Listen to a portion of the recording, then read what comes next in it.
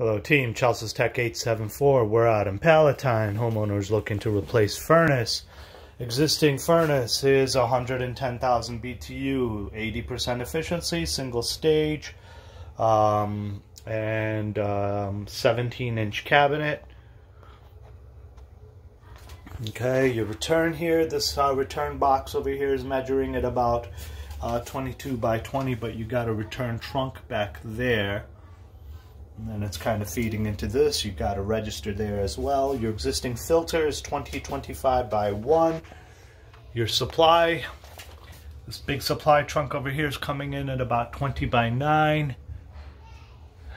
And then you can kind of see trunks out a few different ways over here. Humidifier, uh, currently not connected so uh, if we're not replacing, we are deleting this bypass setup over here. So if we don't mind, uh, if we can delete the humidifier. And uh, the AC is only about seven years old, so that is a brand new evaporator coil, or not brand new, but fairly new evaporator coil, and you can kind of see where the line set goes for the AC unit. Okay, um, your breaker box is right behind us. This is a Wadsworth. Everything is quite labeled, but there are no spare slots.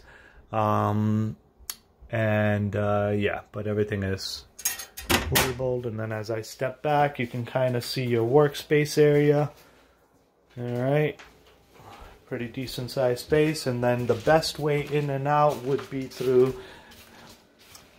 Harun, the way I came in is the best way in and out, right? Is there another door or anything? I mean, there is right here that leads outside. So Through here? On, yes. Oh, okay. Let's look at that. So, okay. that goes pretty much outside. Okay. So, would you prefer us coming through here, or do you want us to come to the front? Um, probably it might Okay. make sense to go. Yeah. Sure. So this would be the best way in, guys. and that'll take you right to the equipment. And uh, really, that's about it. Okay. Chelsea's Tech 874. Uh, out.